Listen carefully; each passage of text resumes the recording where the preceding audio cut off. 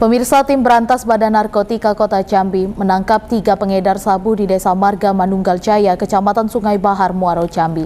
Pelaku diketahui menjual narkotika kepada para petani dan pekerja sawit.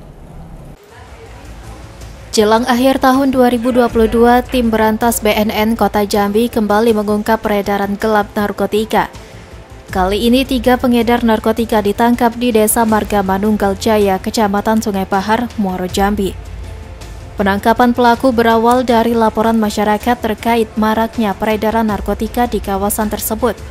Ketiga pelaku yakni UK, RA, dan YS ditangkap di sebuah rumah yang dijadikan tempat menjual sabu.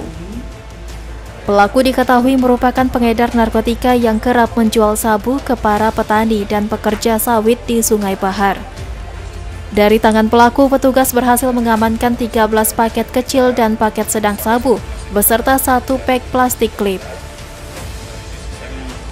Perkara ini ini pengungkapan perkara yang di Desa Marga, Desa Marga Manunggal Jaya, Kecamatan Sungai Bahar, Kabupaten Muara Jambi.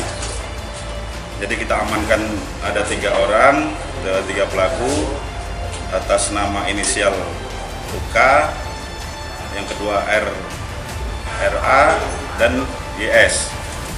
Uh, seperti rekan-rekan lihat sekalian, berikut barang bukti yang berhasil kita amankan dari kegiatan yang uh, tersebut ada 13 paket 13 paket uh, yang diduga narkotika jenis sabu. Dimas Sanjaya, Cek TV, melaporkan.